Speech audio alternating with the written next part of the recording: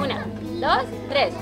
San, y, a. ¿Cuántos son? Go ahead and get your scissors. Y la sigue hasta que haya un lago muy hondo. We don't want monotone Hola, estoy aquí para jugar. In a dual language classroom, students learn their lessons in two languages. What are they doing? It's different from the traditional bilingual program.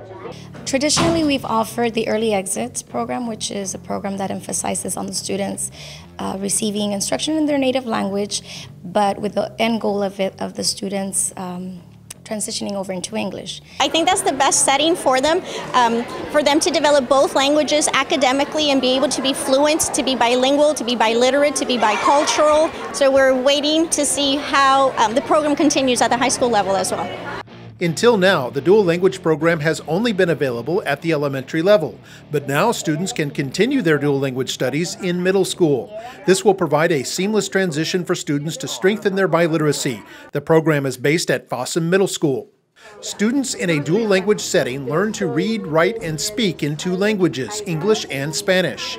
The program is so thorough that fifth graders can actually earn a high school foreign language credit before they step foot in middle school. And I want to say thanks to all of you who give us the opportunity of speaking and writing in both languages, which allows us to learn and value both cultures. The first group of fifth graders participated in a dual language cohort graduation in May at the University of Texas Rio Grande Valley. These students are from Jackson and Sanchez elementary schools. They have been in a dual language class since pre kindergarten. These students will be graduating with already Spanish 1 credit for high school. And so as they move into middle school, they'll be taking their Spanish 2 in sixth grade, Spanish 3 in um, seventh grade, and uh, AP Spanish in eighth grade, with the end goal of them continuing into high school.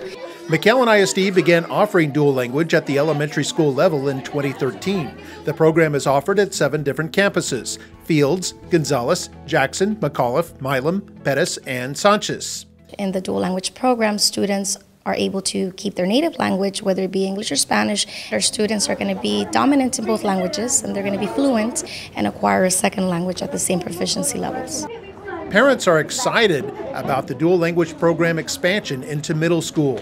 Oh, they're extremely excited. I mean, it's. Um, for them, it's, it's a dream come true for many of them. Um, we do have constant phone calls as to, can you please place us on the waiting list? We want to get into a dual language classroom. So now that they're knowing um, that our students are going into middle school, we are having a lot more calls. Se ha ido desarrollando más el interés de los padres por seguir conservando esta cultura en, en ambos idiomas y la enseñanza para que nuestros niños estén preparados para el, lo que el, el, mundo exige en este momento. That, that it's really cool to be in dual language because it's awesome to have to know two languages.